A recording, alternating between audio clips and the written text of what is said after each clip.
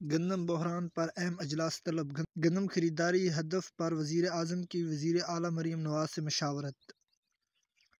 شہباز شریف نگراں دور میں گندم کی غیر ضروری درآمد کی تحقیقات کا حکم دے سکیں گندم خریداری کے سرکاری ہدف پر نظرثانی کا اعلان بھی متوقع ہے۔ نگراں حکومت نے گزشتہ برس چوبیس لاکھ ٹن شارٹ فال کا جواز بنا کر گندم باہر سے منگوائی۔ اکتیس مارچ تک ملک میں بتیس لاکھ بیس ہزار ٹن گندم امپورٹ ہوئی۔ آٹھ لاکھ ٹن سرپلس گندم موجود اور فروخت انتہائی کم امپورٹ مشکلات کا شکار۔ پندرہ روز کے دوران لاہور میں آٹے کی ایکس مل قیمتوں میں سولہ سو روپے کی کمی۔